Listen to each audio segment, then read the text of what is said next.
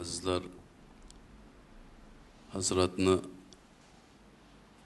sunnati mutahharada mustahkam turganlari bid'atni yomon ko'rganlarini hammamiz bilamiz va bu bid'atlarni asosli qilib mana kitoblarda aytib berganlar.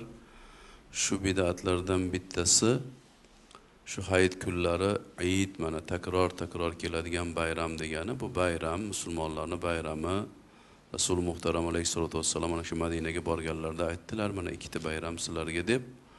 Bu bayram shu bayramni bayramdek o'tkazish e, yaqinlarimizni ota onalarimizni ziyorati yaxshi ishlar bilan tantana bilan o'tkazishimiz kerak. Xususan mana bu fotiha xollik birorta joyda yo'q ekan. Mana biz ustozlarimizdan ham so'radik.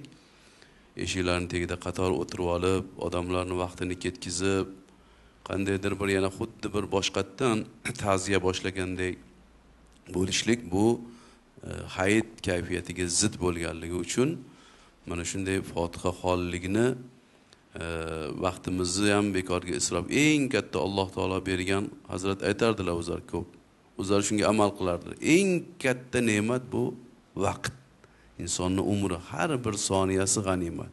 Uni bekorcha ko'chada o'tirib o'tkazmasligimiz uchun shu yaxshi savobli amallar. Mana hozir tabriklarni eshitdik. Xayr baraka yaxshilik mehr oqibat bo'lishi uchun shunga harakat qilishimiz kerak. Xususan hazratni xonadonlarida ham bunday masalan fotihaxonlik bo'lmasligini biz bildirib qo'ymoqchimiz. Chunki u kishi bid'atga qarshi edilar.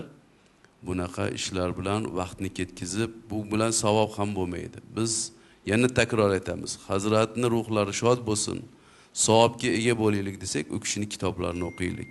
U kishini kitoblarini farzandlarimizga o'qitaylik ahliyalarimizga o'qitaylik. Mana ayollarni o'rtasida ham juda bid'atlar ko'p ayniqsa hayit kunlarida. Va bunday e, bid'at ishlar bilan shug'ullanib umrimizni o'tkazmasak yaxshi bo'lardi.